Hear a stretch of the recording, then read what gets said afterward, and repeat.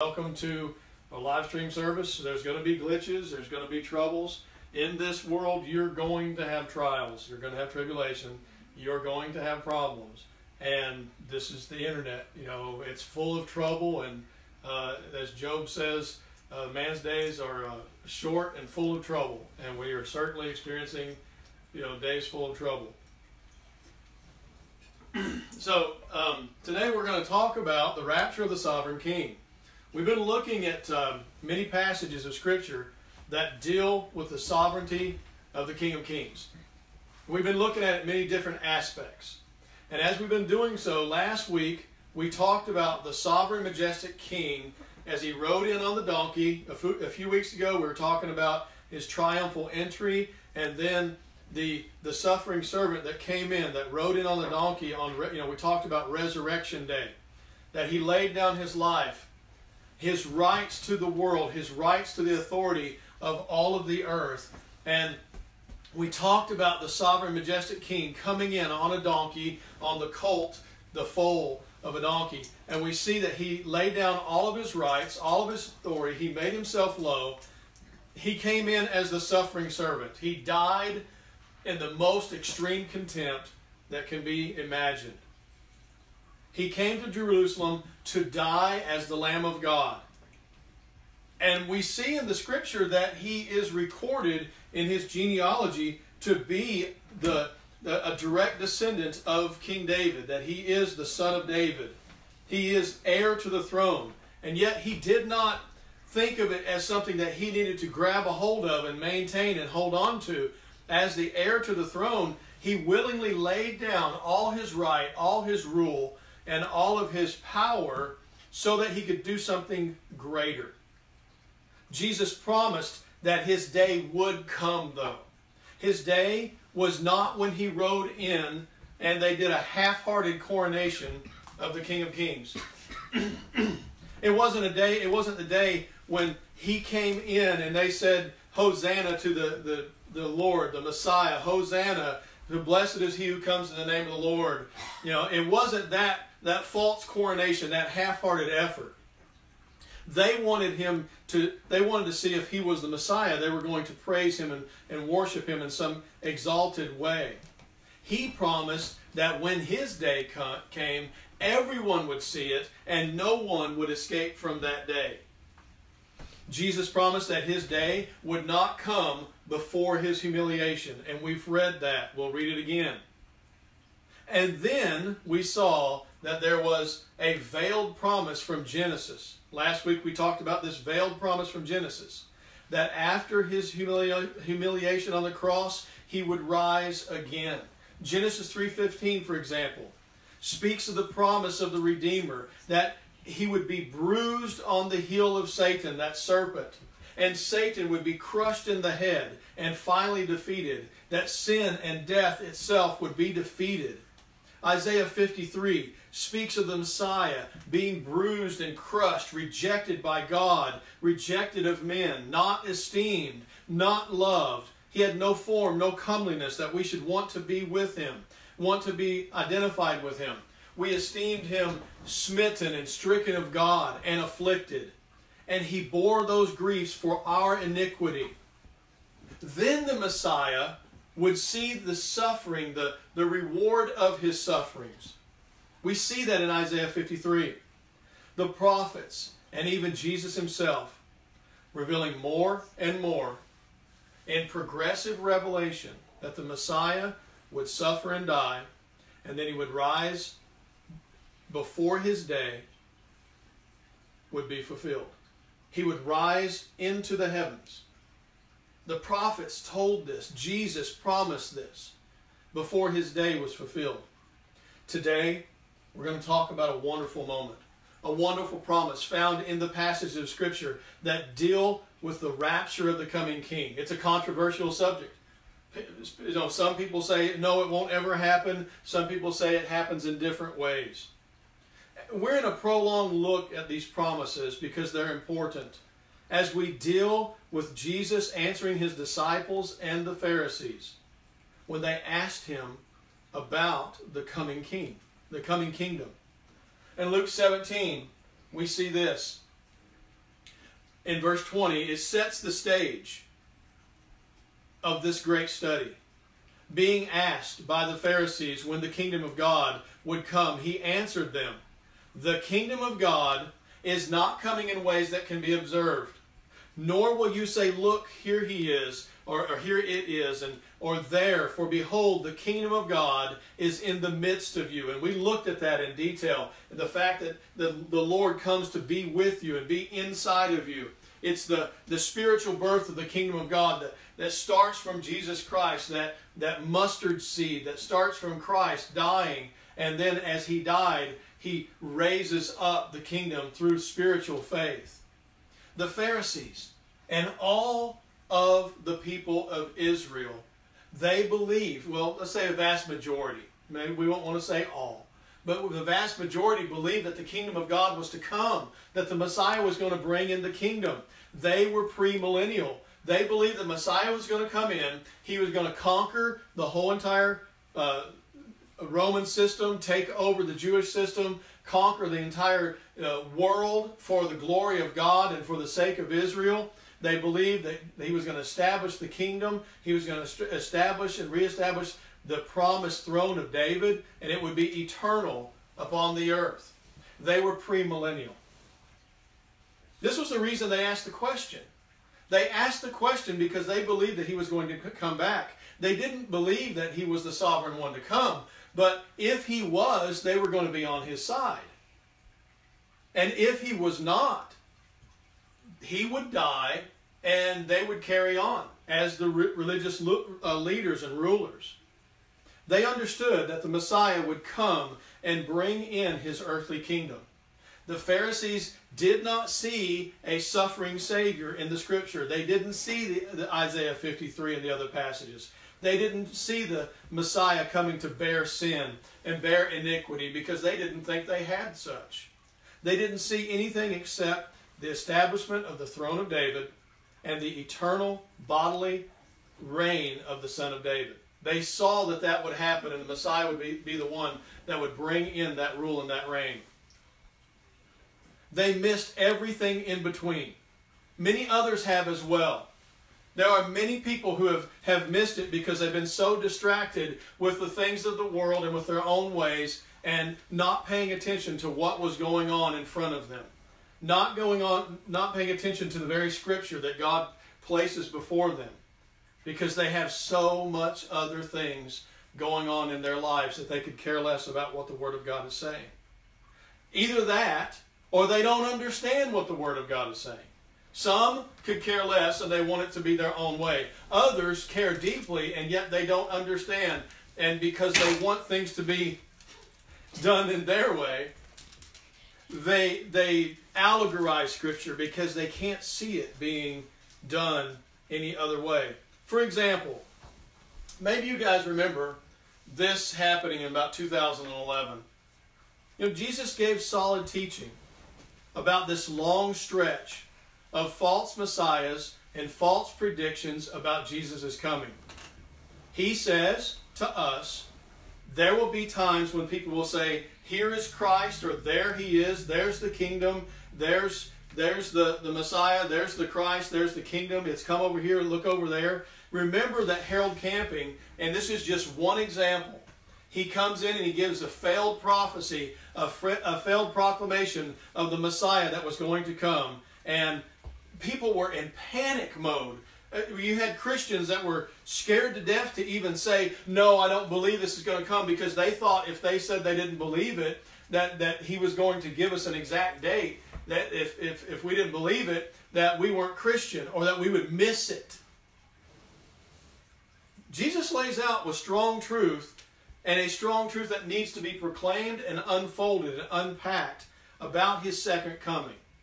And make no mistake, the passages we're looking at deal with his second coming, with his coming in glory, his coming to bring wrath. And we need to look at that.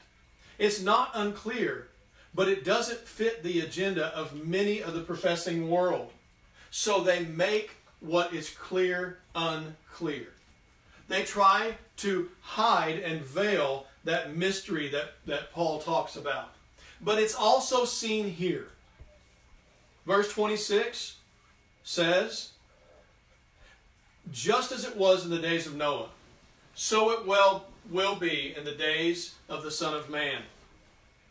They were eating and drinking and marrying and being given in marriage until the day when Noah entered the, entered the ark. Excuse me, sorry. And the flood came and destroyed them all.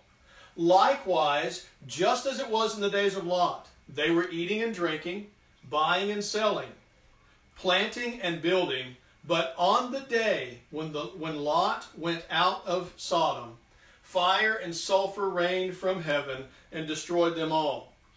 In verse 30, so will it be on the day when the Son of Man is revealed. On that day, let the one who is in the housetop with his goods in his house not come down to take them away. And likewise, let the one who is in the field not turn back.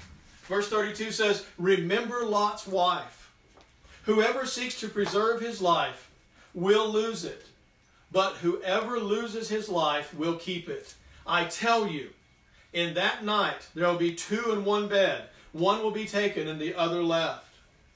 There will be two women grinding together, one will be taken and the other left. The NASB uh, has uh, verse 36 in it as well. It says, Two men will be in one field or in the field, one will be taken and the other will be left. Verse 37 And they said to him, Where, Lord? And he said, Where the corpse is, there the vultures will be gathered. Brothers and sisters, as Christians, we believe in the promise that the Lord is going to return bodily on this earth, to this earth, to be King of kings and Lord of lords. Now, there are many people that believe this to happen in different ways. Okay? There's all kinds of different ideas. You know, some people believe in, in uh, what would be what would be called a, uh, a premillennialism. Others believe in, I guess you would call it, postmillennialism. And then there's another set believe in amillennialism. Just so you understand, premillennialism, it comes, I mean, there are so many different teachings and different ways of seeing this. Premillennialism has two different understandings. We have two different beliefs in this the historic premill and the dispensational premillennialism. Then you also have the, the leaky dispensational, and that would be the partial, um, or the say let's say the progressive dispensational. You have you have this you have all kinds of different ideas in here. Premillennialism says that Christ will come to earth before the millennial kingdom and it will come for his bride. That's dispensational premillennialism. And he himself will establish his kingdom upon the earth.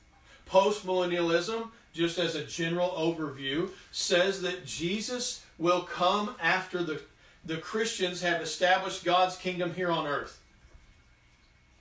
They're going to establish it for him, and that at some some some time, some body or some group of the church is going to bring and present the keys to the kingdom to the Lord whenever the, you know this event has happened. That that all the earth has come under subjection of Christ, and the Lord comes and the, the church, the body of Christ, has taken over the world, and they have established the kingdom of God on earth. Amillennial, amillennialism says that there, there will not be a millennial kingdom. There is no thousand years as spoken of in the scripture. There is no millennial kingdom. There is no millennial reign. There is no reign upon the earth. At an appointed time, everyone is raptured into heaven to the great white throne. The goats and the sheep are taken and separated out, and they are judged by Almighty God. Those passages of Scripture that talk to us about the rapture are not unclear. But if you will take a moment and look with me in Luke 17, I believe you're going to see another thing that's not unclear. These are clearly promised in the Word of God that the Lord's day of vengeance and wrath is coming. In Luke 17, 26 to 37, we all agree that the Bible says that there is coming a day when the wrath of God is going to be poured out for all who would not believe. For all unbelievers. We believe that. And Jesus himself points to the fact that just as it is in the days of Noah, so it will be in the days of the Son of Man. In the same way, likewise, verse 28, as it was in the days of Lot, so it will be when the Son of Man comes. The Son of Man, or the day of the Lord, is the idea of the time when the Lord comes to exercise justice and judgment, and it is not just one particular day. We understand that there is an unfolding of the wrath of God, an unveiling of the wrath of God. We don't know how long it will take, but we know it will take a long time. But these passages that are foreshadowing the promise and the culmination of a final judgment from Almighty God when He judges all the wicked on the earth, these passages are also foreshadowing another event that you can see here in this passage if you will look at it. Now, this is just the, the lowest rungs of the truth of the Scripture when it comes to the rapture, when it comes to the catching away or the pulling away that God has. We see it in God's progressive revelation as he teaches. In Luke 17, Jesus says, just as it was in the days of Noah, just as it was in the days of Noah, so it will be on the days of the Son of Man. Now listen to what's being said. Jesus states in the Greek, kathos gonamai. It means exactly as it was in the days of Noah, exactly in the same way as it was in Noah's day, exactly in the same way as it was in Lot's time. What happened in Lot's time? What happened in Noah's time? In the days of Noah, so it will be on the days of the Son of Man. And Jesus states the general setting of the world in a pre wrath flood. Before this great wrath that comes upon the world, Jesus states that they were eating and drinking and they were marrying and given in marriage. Now, it doesn't sound that bad, does it? They were eating and drinking and marrying and giving in marriage. You mean to tell me that God's going to come and destroy the whole world and He's going to exercise wrath and justice just because they were eating and drinking and marrying and giving in marriage? Does that all that means? Is that possibly all He's saying? Or, or do we have to go back and look and see the full context of what's being said? Then Jesus says that what they were doing, that all they were doing, let me say that again. Then Jesus says that they were doing all this until Noah entered the ark. Until the day that Noah entered the ark and the flood came and destroyed them all. The flood came the wrath of the flood came and it destroyed the entire world and everyone in it, except for those who were in the ark, except for those who were believers of faith and brought into the ark. They found their salvation there from the very pre wrath flood of Almighty God upon the entire world. They found their salvation in the ark. Verse 28 says, just like the wrath that came on the world during Noah, there would be a wrath that fell, up, fell upon Sodom. And what were they doing pre wrath? They were eating and drinking, they were buying and selling. Before the wrath of Almighty God that was poured out upon those people, Sodom and Gomorrah, the wickedness of them was that they were eating and drinking, buying and selling again. Does that sound like what we're hearing the full extent of what's going on. He gives a general overview of the idea of the world. But in both cases, when was the wrath of God poured out upon the wicked? Look with me again. In verse 27, in both cases, in verse 27, it speaks to the flood of Noah, and Jesus says in verse 27 that they were eating and drinking and marrying and giving in marriage. They were living their lives completely impervious or immune to any thought of God, any things of God. they were doing life their own way. They were living under their own counsel and their own wisdom. And yet we see we will see in a minute that they were doing so much more. But it says that Jesus proclaims until the day when Noah entered the ark and the flood came and destroyed them all. Brothers and sisters, listen. They were living their lives, impervious to the idea and the thought that the wrath of God would come. They were completely oblivious and they did not care. They lay around sleeping and not paying attention. They lay around eating and drinking and not paying attention.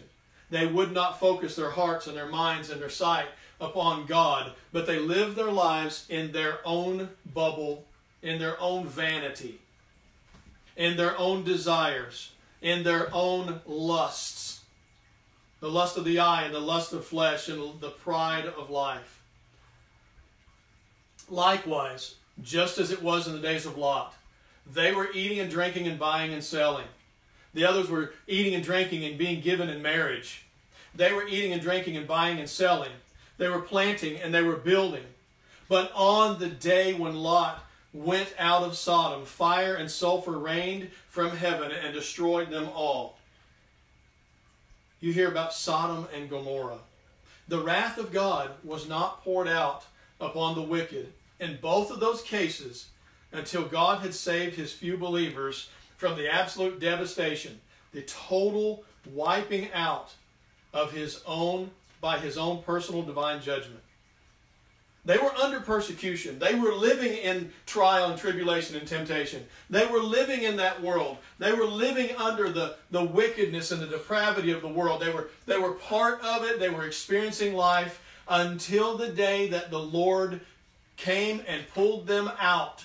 Pulled them out of the wrath of Almighty God, pulled them out of the judgment and the justice of Almighty God, and saved them from that day we are told that we will not undergo those persecutions. They faced this world and those struggles until the day that the Lord Himself pulled His people out. They weren't given a protective bubble. Think about this. Every Christian, every believer, every believer today, we go under the wrath of the world. We go under the wickedness of the world. We are persecuted all the day long. You know, even with this corona and the COVID thing going on, we see that there are Christians being told that they cannot meet together and they cannot come together. They, they cannot worship together face to face. And, and if they come together and sit in a parking lot in a car, they can be arrested and charged. And one governor saying, if you do it again, we'll give you a felony because you're sitting in a car. But you can go to any restaurant or any Walmart or anywhere else and sit in a car line and pick up food, or go to Walmart and pick up whatever you want to pick up, sit there, shake hands, talk to each other, and everything else. And they say, oh, social distance, but you don't see it in the world. But you see the demand of social distance where? In the body of Christ. You don't see it in the world, but you see it in the body of Christ because nobody wants Christians to be together.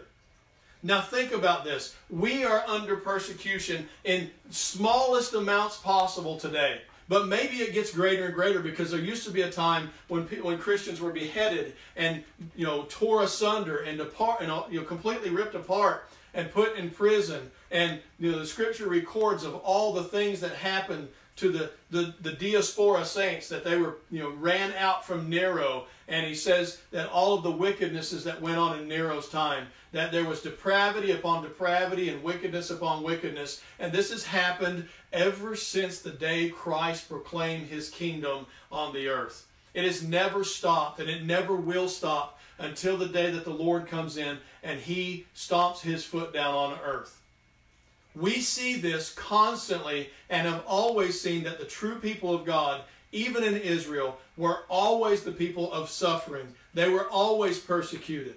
No matter who they were, true believers were always reviled because Christ said, They hated me first, and they will hate you. You won't escape. This is not escapism. Okay? When, when God put Noah in the ark, was that escapism? People charge the rapture idea that, that, oh, that's escapism. Well, God put Noah in the ark before what? The flood. Before there was a destruction, a wrath of God poured out on all the world. And the, the world couldn't see it, they wouldn't see it, even though it was proclaimed. You and I, Christian, today are proclaiming sin, righteousness, and what? Judgment to come. We are telling the world that there is coming a day when God in judgment will absolutely wipe out this planet in his wrath and in his justice. The Bible says it will all be burnt up with fire. the heavens, the earth, and everything, and the only thing will be left is the great white throne. And God, in His justice and His judgment, will take every single person who has not believed in the Lord Jesus Christ, and they will be judged for everything they've ever done. And we tell people, put on the Lord Jesus Christ. Amen? We tell people, put on Christ and flee from the wrath to come. Flee from the judgment to come because it's real. Now think about what Noah was doing. He wasn't just telling people it's not good for you to eat gluten or it's not good for you to eat this thing or that thing or the meat or this, that, and the other. He wasn't saying, oh, you're drinking wine. Oh, you're doing this. He wasn't saying that. He was saying you are living in wickedness and the wrath of God is coming. It is going to rain. We tell people today that the Lord Jesus Christ is coming in his glory, and when he comes, the wrath of God will be poured out. Maybe you won't see that day. Maybe you'll see the day when you die, just like everyone else, for it's appointed for man wants to die. But after that comes the judgment. Maybe you see that day. Or maybe you get to live long enough to see Christ return for his church and for all of the, the tribulation and the, the wickedness to, to be poured out upon the earth. We see here that Jesus says, until the day when Noah entered the ark, they were living their lives perpetually for uh, 1500 years. They were living their lives in defiance of Almighty God. Lot, in his case, they, these people were living their lives. They were buying and selling. They were eating and drinking. They were buying what? They were selling what? Flesh. They were buying flesh. They had, they had the right to buy people for for purposes of sexual deviancy, and they would sell people for the purpose of sexual deviancy and the wickedness, and they were planting and living their normal lives, and they were building bigger and bigger kingdoms because they lived for themselves. This is not an example of escapism. This example, it didn't escape Paul either. 2 Peter 2.15. I'm sorry, 2 Peter 2, 5 through 9. It didn't escape uh, Peter as well.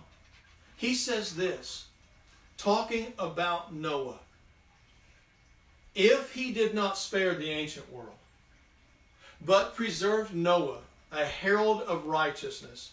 Now, some people say he preached righteousness for 120 years. What I will tell you for a fact is, is that he preached righteousness from the moment that God said, You're going to build an ark and I'm going to destroy the world with a flood until the day that the doors were closed. He was a preacher of righteousness. With seven others, they proclaimed the truth of God. And when he brought a flood upon the world of the ungodly, if by turning the cities of Sodom and Gomorrah to ashes he condemned them to extinction, making them an example so that so so uh, example of what is going to happen to the ungodly. And if he rescued righteous Lot, so he goes from Noah to Lot and he says this, and if he rescued righteous Lot, that's escapism. If he rescued righteous Lot, greatly distressed by the sensual conduct of the wicked. Now here's here's one thing I want to add in as a free footnote to think about. Listen to this. Righteous Lot. You look in the Old Testament and you think wicked Lot, vile Lot, sinful Lot, false convert Lot. And Peter, by the power of the Holy Spirit, under the inspiration of the Word of God, of God the Word, says that Lot was righteous and his soul was vexed under the wickedness of that city. If he rescued righteous Lot, who's greatly distressed by the sensual conduct of the wicked. For as, as, for as that righteous man lived among them day after day, he was tormented his righteous he was tormenting his righteous soul over their lawless deeds that he saw and heard. That is us brothers and sisters as we are tormented by the wickedness of the world if you are not today tormented by the wickedness of the abortion industry and the murder mills and the, the, the, the great high leaders and teachers and the, the, the Hollywood elite telling you about how it's, it's your civil right and it's your right to murder babies and, to, and it's the American way to rip to shreds babies so that you can have your best life now. If that is not vexing your soul, you're not saved. You need to get right with Almighty God. Listen to this. Their souls were vexed by the wickedness. If the porn industry and the sinful industry and the LGBTQ and all of the transsexual and pansexual and all the sexual deviancies, if those don't cause your soul to be vexed, check your heart. Listen to this. This man was tormented day and night. And verse 9 says, If the Lord knows how to spare Noah and Sodom, um, Noah and Lot. Listen to verse 9. Then the Lord knows how to rescue the godly from trials and to keep the unrighteous under punishment until the day of judgment. Let's look at the argument for the rapture. We're to look at the lesser to the greater looking at the lesser to the greater just for a short time as we talk about these. We've already seen that Jesus has already started speaking from that. Starting in Genesis, though, we look in Genesis 5:21. When Enoch had lived 65 years, he fathered Methuselah. Before the flood, before the wrath, Enoch walks with God after he fathers Methuselah. He walks with God for 300 years. He had sons and daughters for 300 years, and his days of Enoch were 365 years. And listen to what it says in 24. And Enoch walked with God, and he was not, for God took him. We see that this is a case of the snatching away of Enoch. God took him from the earth. He took him bodily, living from the earth. He did not die in any such way. He did not lay down. You see before, John MacArthur points out that before this you have generation after generation after generation of, and he died, and he died, and he died, and he died. He, he was born of this one. He had this many years, and he died. And all of a sudden, right in the midst, you have the tale of Enoch. There are many who are born and born and born and die and die and die. And then Enoch comes along and he walks with God and then he was gone because God took him. He did not die. God took him. before the wrath, before the flood. In 2 Kings 2 9 to 12, I love the story. I love Elijah. I love listening to the story of Elijah and Elisha or Elisha. Uh, the, listen to this. Here, Elijah is telling his disciple, his young, his young learner that he's coming with him. He is, he's telling him that he is about to be taken up. He says, I am about to be taken away. And all the people are, are hearing this and they know that he is about to leave them. Elijah said to Elisha, Ask what I shall do for you before I am taken from you. Listen to that. Before I leave, before I'm taken away, before I'm snatched away from you. And Elisha said, Please let there be a double portion of your spirit upon me. By the way, there was. If you go look, the things that Elijah did, Elisha did double. there was a, he says in verse 10, You have asked a hard thing, yet if you see me as I am being taken from you, not as I'm being dropped down in the ground to die, not as I'm being laid down because something's happened to me and I'm laid down into the tomb and they cover me with dirt. But as I am taken up, as I am taken up to into the clouds, into the heavens, if you see me into the heavens, if you see me go into the heavens, if you see me, it will be done for you. But if you do not see me, it shall not be done so. In verse 11, we see this. And as they still went on talking, as they were in the midst of the conversation, having that, that conversation that you and I are having today, that conversation that we have all the time with people just the, the conversations of life and they're going on and talking about the things that are going on and they're, they're talking about the problems of the world and they're talking about the blessings to come. They're talking about the fact that yes we're going to die one day we're going to meet god. But this case he's saying i'm not going to die i'm going to be taken. He knows he's about to be taken. And in this case as he's saying this listen verse 12 well verse 11 and as they still went on talking, behold, chariots of fire and horses of fire separated the two of them, and Elijah went up by a whirlwind into where? What does it say? It says heaven. He didn't go down into the ground. He went bodily into heaven. And Elisha saw it and he said, he cried, My father, my father, the chariots of Israel and its horsemen. And he saw him no more. Then he took hold of his own clothes and tore them into two pieces. These are the two strongest cases of the Old Testament of rapture, whereby God takes his saints alive to be with him in the air, to be with him.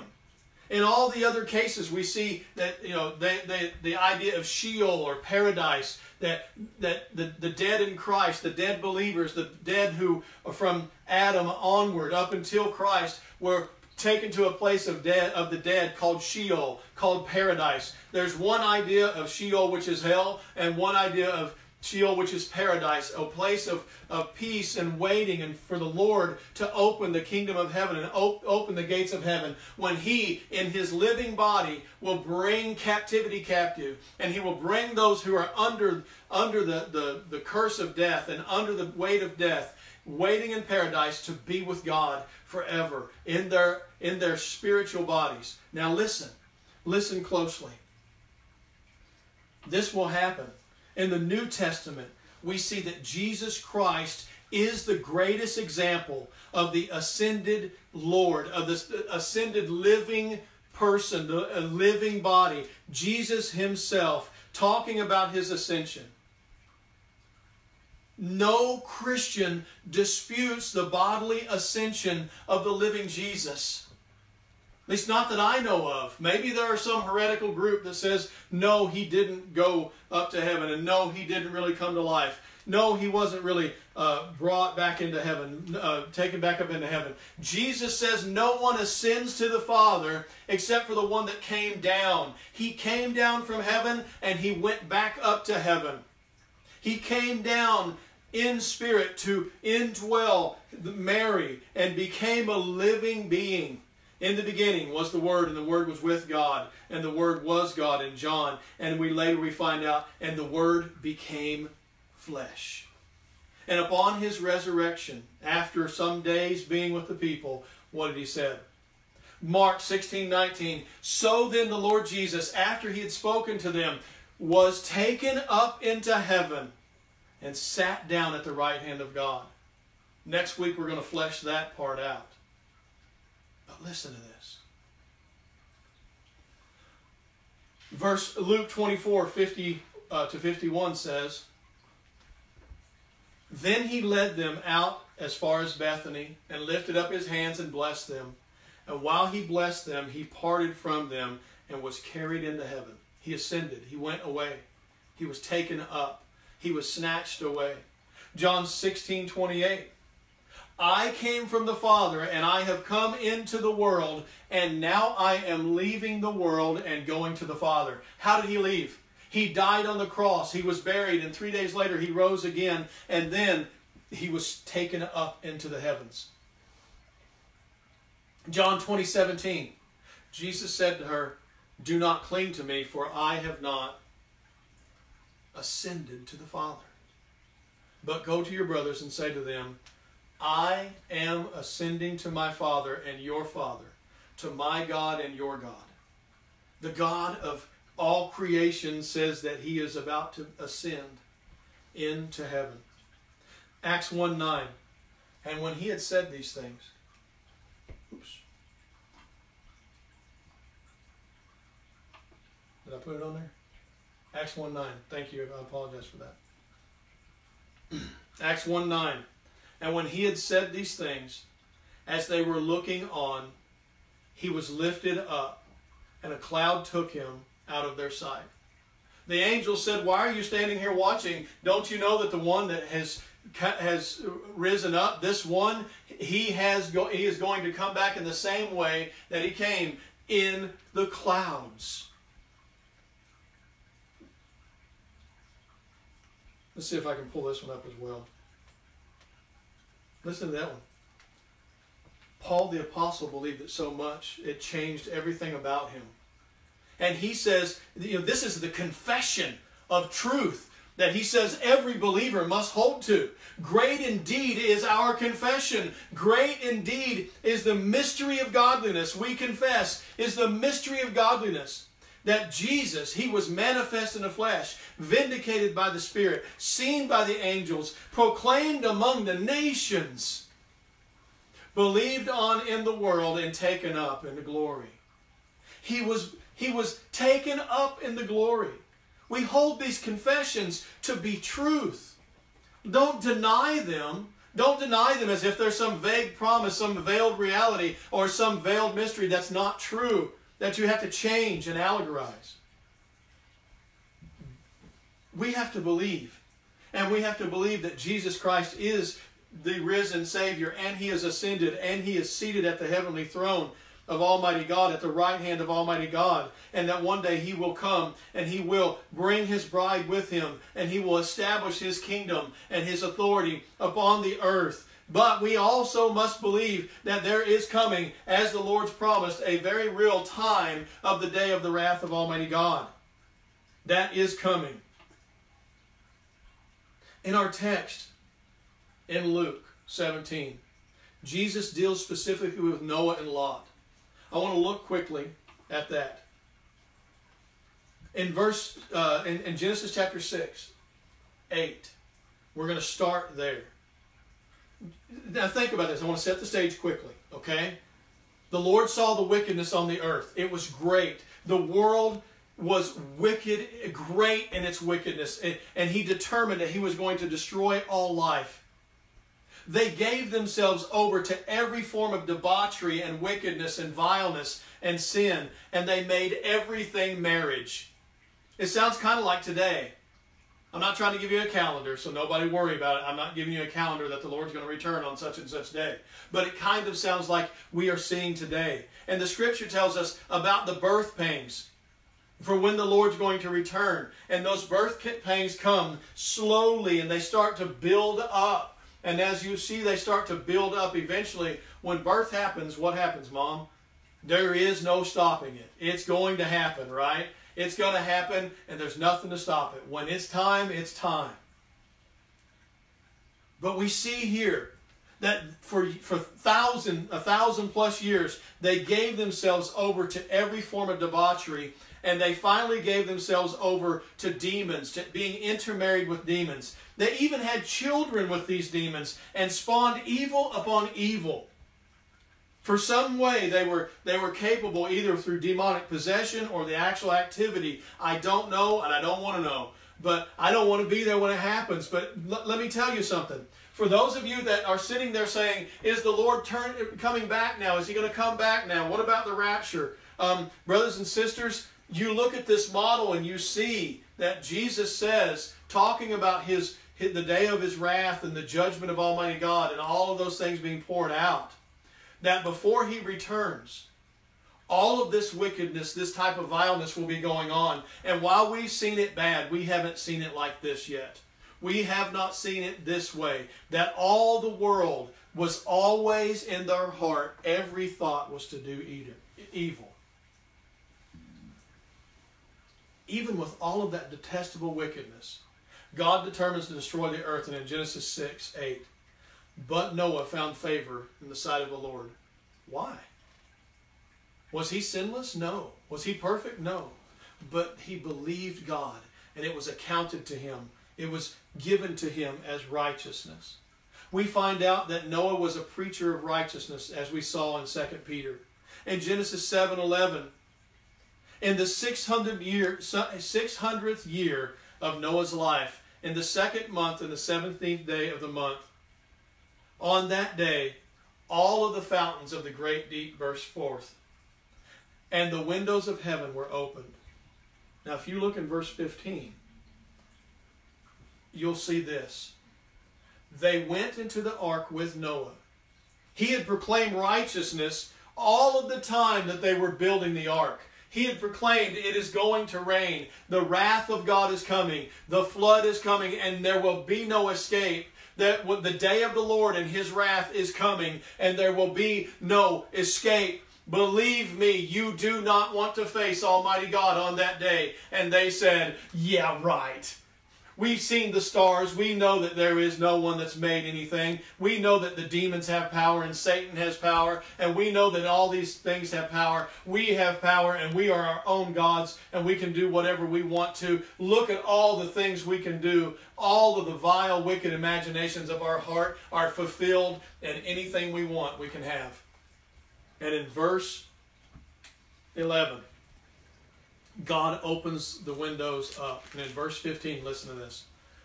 They went into the ark with Noah, two by two, of all flesh, in which there was the breath of life.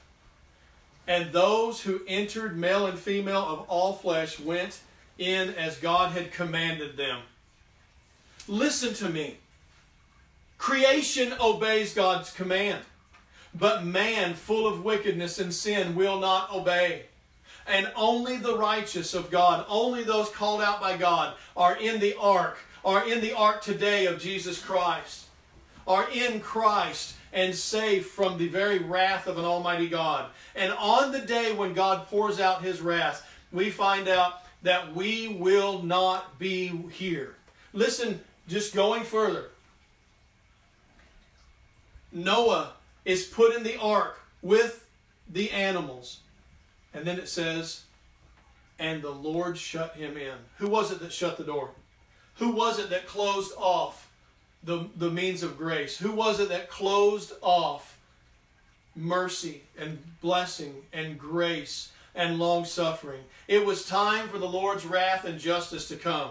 Wrath and judgment were abated until the day that they were safely on the ark. And when they were on the ark, God gave just a little space and then he closed the door. In Luke 17, Jesus reveals that the wrath will come exactly like it did in the days of Noah and in the days of Lot. So, looking at Lot, just quickly, in Genesis, the wickedness of Sodom and Gomorrah was so great that the Lord Himself came down with His angels to judge those wicked people.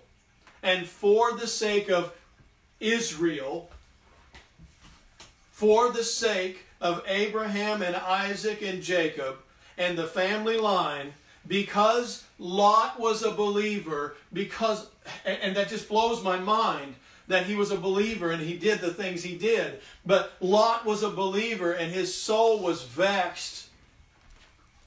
God in his great kindness mercied Lot in Genesis, the wicked of Sodom and Gomorrah, it is so great that he comes down to the city and he's going to wipe it clean. Today, there's not even a, a trace of Sodom and Gomorrah. Most people, or some people, should I say, they think that's in the Dead Sea. Some people try to try to place where it might be. But the Bible tells us that it's all is just turned into a, a ash heap, a pillar of salt. The entire community at that time, all of the men, apparently, even all the men involved, maybe even Lot's, uh, the husbands of Lot's daughters, were given over to homosexuality and the selling of people, the raping of others, and the buying of people, of men to involve themselves with sexually and immorally, maybe even the women as well.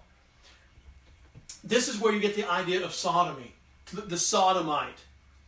You know, today we try to dress it up and call it, well, you just you're just gay or you're homosexual. No, the Bible talks about sodomy and the sodomite and says no sodomite will enter the kingdom of heaven. So repent. No sexually immoral person will enter heaven. They saw the glorious angels who were sent in to bring Lot out and to bring judgment on the city, and the entire city wanted to rape the angels. So the angels blinded the men of the city, but they wouldn't stop there. And in verse 12, the angels tell Lot to get his family and the in laws out of Sodom because the Lord had sent them to destroy the city. The Lord has sent them to destroy the city. In verse 15, the amazing thing, Lot just sits around and he waits. He, he just like I, I you know I, have got a little bit of time. Surely I've got other things to do. You know it's not that pressing of an issue. He didn't understand what was happening. We have a lot of people today that don't see the coming of the Lord. But they don't see that God is pulling them out. They don't see it and they don't understand it. And, and Lot he saw he saw what was going on in, in the wickedness of the world, but he didn't understand the purpose of God. He didn't see those things. Lot just sits around and he's not understanding the certainty of the coming wrath. The angels grabbed a hold of him and they snatched him away. They grabbed him and they pulled him out. But he lingered. So the men seized upon him and his wife and the two daughters by the hand. They grabbed the wife and the two daughters and they grabbed him and they yanked him completely out. Even the ones who had been told the wrath is going to be poured out, they lingered. They didn't understand. The men seized them and they brought them out of the city. In verse 17, we, we, are, we see it clearly. And as they brought them out, one said, Escape for your life. Don't look back. Don't stop anywhere in the valley. Escape to the hills, lest you be swept away. And of course, we know that Lot argues with the angels and he wants to go to Zoar. So they let him go. Escape quickly, verse 22. Escape quickly, they tell him, for we can do nothing till you arrive there. Therefore, the name of the city was called Zoar. He says, he says, escape quickly because we cannot judge until you are safe. We cannot pour out wrath until you're safe. The angels could not pour out the wrath of God until the people of God were safe in the city. And then Jesus, if you go back to Luke, says this Remember Lot's wife. What happened? The Lord rained down judgment on Sodom and Gomorrah, sulfur and fire from the Lord out of heaven. He absolutely decimated the city and everything in it. Pre wrath, he's crying out that there's judgment to come. He calls out for his people and he brings them out. And then we get a glimpse of this. Those that are truly not believers, that are that love the world more than they love God. But Lot's wife behind him looked back and because she looked back, she became a pillar of salt. She wanted the things of the world. God had promised to deliver his people out from trials, from the day of God's wrath, from the vengeance of God's wrath. Him pouring out his justice and his judgment. And you don't see that many times in the scriptures, but you see that in a few places in the Old Testament where God absolutely decimates either the entire world or cities under the very wrath of Almighty God when He decimates it as an illustration to show us, yes, there's judgment to come. How do we know this? Because Jesus said it. And in the same way, we will see the body of Christ, the people of Christ, taken out of here, taken out of the world. You talking about the rapture? The church of uh, Thessalonica they were being inundated with people that were trying to make shipwreck of their faith. They were telling them that they had missed the resurrection and the return of Christ. They believed that Christ was going to come. They believed that there was a resurrection. Paul had told them, and, and he tells them these promises, and people come in trying to make shipwreck of their faith. They've already missed it. They've missed the return of the Lord. They've missed all of it. Uh, uh, that, that the Lord has come already. Paul the Apostle then explains that Christ will appear in the clouds to call the dead in Christ first, then those who are in Christ who remain. We don't know when that's going to be, but it says that we'll all be caught up. 1 Thessalonians 4. But we do not want you to be ignorant, brothers, uninformed, about those who are asleep. That, that euphemism is they have died physically, but spiritually they're alive. That you may not grieve as others do who do not have hope. They're not still in the ground. For since we believe that Jesus died and rose again, even so, through Jesus, God will bring them with bring bring him will I'm sorry, God will bring with him those who've fallen asleep. He's going to bring those with him who've fallen asleep. For this we declare to you by a word from the Lord. This is a, a, a revelation that comes that uh, to Paul, a revelation that came by a word of the Lord, that those who are alive, who are left until the coming of the Lord, will not precede those who have fallen asleep. In other words, the dead who are sleeping in Christ will not, let me say the other way around, I'm sorry, those who are alive who are in Christ today, or whatever day this happens at the coming of the Lord, those who are alive will not precede those who are dead. Those who are dead will be caught up to be with him. For the Lord himself will descend from heaven with a shout, with a cry of command, with the voice of the archangel, and with the sound of the trumpet of Almighty God. And the dead in Christ will rise first. Then we who are alive, who are left, will be caught up together. That, that word caught up is the word harpazo. It's, it's the idea of something being taken forcefully. I'll, I'll give it to you in just a moment. But listen to this. It is the idea. Here it says, For the Lord Himself, God Himself, Jesus Christ, our Lord and Savior, will Himself descend from heaven with a cry of command, with the voice of the archangel, of an archangel, and with the sound of the trump of God. And what will happen? The dead in Christ rise first. They come out of the grave. Their physical bodies come out of the grave to come up. Then we who are alive, who are left, will be caught up together with them in the clouds to meet the Lord in the air. And so we will always be with the Lord. Therefore, encourage one another with these words. I want you to think about the blessing of this promise. Paul the Apostle wants us to encourage, wants the Thessalonians to encourage each other. You haven't missed it. Paul wants to encourage us that you have not missed this day. You have not missed it. It has not been escaped you. But what will happen on the day, when the day, uh, at the day when the Lord will come back for his bride? I want you to notice that there is no judgment here. He says, I want you to encourage each other with this promise. These are the words of promise of the things that are to come. We will be caught up. It literally means in the Greek, harpazo, H A R P A Z O, to take something by force. One commentator says it's rapaciously, to rip someone up, to pull one up to firmly, quickly yank them up and to bring them up to be with you, as we saw with Elijah, as we saw, I'm sorry, Ezekiel, as we saw with with um, Enoch, and as we see with Jesus Christ Himself, who who went up and he led a, co- a host captive that were captive. He led those dead saints, the spirits of those dead saints that were still in paradise, as as was the, the, the thief on the cross who believed in Jesus. When Jesus says, Today you'll be with me in paradise, he led him up to heaven for all eternity. And in this case, and in this case, he takes them back down. And where does he take them to? He takes them to a cloud.